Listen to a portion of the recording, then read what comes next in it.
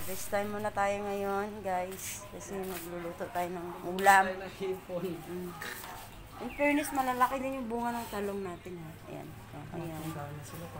Oo nga eh. Hindi rin pala maganda, no, guys, sa mga ganito na tatanda din. Dapat fresh pa, bata pa, makukuha na natin sila at maluto na. O, oh, ayan, ah, sobrang laking pool. Ba't kinukuha mo lahat? Ha? Oh my gosh, grabe. Super. na rin yan. Oh, sige. Kunin mo na. Yan. Eh, i-mix mo ba ang pechay at saka mustasa? Ay, grabe ang. Bukas. Nakakatuwa lang to guys, diba? So, huwag tayong magsawa. If you have chance na ito makapagtanim, ito magtanim ano tayo. Sa hipon. para, yan, hindi na tayo bibili. Kahit 10 piso lang yan, diba? Hmm. Ano ba. Ano? Kasi may tatanim ako doon. Na ano? Dito papalitan ko na siya. Oh, Sige na, go. Ay, ano mo siya? Kalbuhin mo talaga? Ay, Kasi ganun. matandaan mo. eh. Ay, kalungkot naman.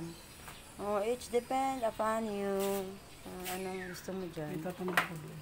Ay, ganun, bago. Palitan ko. Lo, inano na guys. Diba? Binunot na. Kalungkot naman. Sige, bilisan mo ha. Kasi I'm so hungry na po. Galing pa kami work, guys. Hmm. Binunot na. Ay, sayang.